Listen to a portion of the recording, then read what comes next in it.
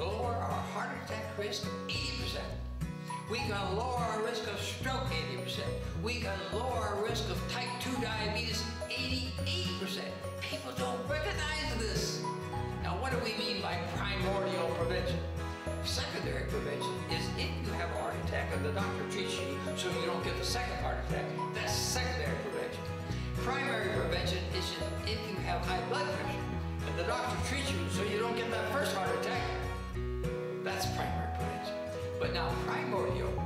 is one step before that. You live a lifestyle so you never have the risk factors. You never have high blood pressure.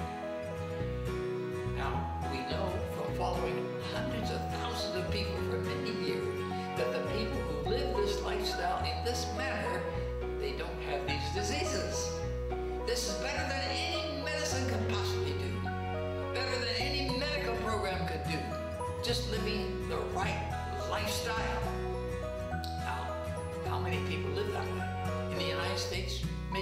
3% of the population.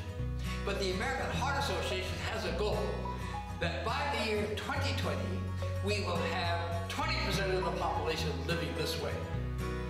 Now that's what we should strive for. How's it going to happen?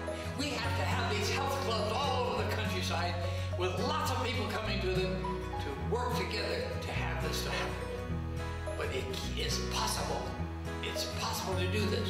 We don't have to have that heart attack. We don't have to have that stroke. But just live the proper lifestyle. The seven risk factors are don't smoke, number one. Number two, cut out that alcohol. Number three, exercise. Number four, don't get overweight. Number five, get closer to a vegetarian diet with more fruits and vegetables. Now, add two more to that. Low blood pressure, avoid high blood pressure, cholesterol. But if you do those first five things right, you're not apt to have high blood pressure or high serum cholesterol.